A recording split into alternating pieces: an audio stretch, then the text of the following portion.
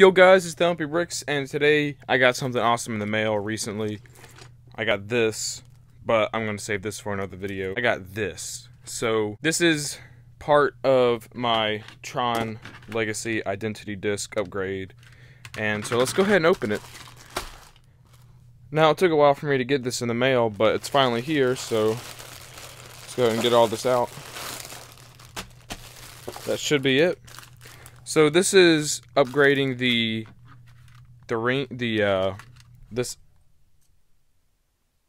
So as I'm filming the power just went out. Okay, well whoa. Now I'm wondering what this green ring is for. Okay, so I, re I got this in the mail. This is from Soul Inertia Designs or Fatal 5150 and basically it replaces this blue ring and the outer ring which I already took out right here. This is all like a flimsy rubber, but this is what's inside. So I'll see if I can go ahead and get this out. Okay, so I got everything out that comes with it. This is the box of, uh, let me open this. Yeah, there's tape on it. This box has the little parts in it. Yeah, so we got the batteries and the little tiny electronic parts and those magnets, which are really strong. But this is a little card. Fatal 5150 Soul Inertia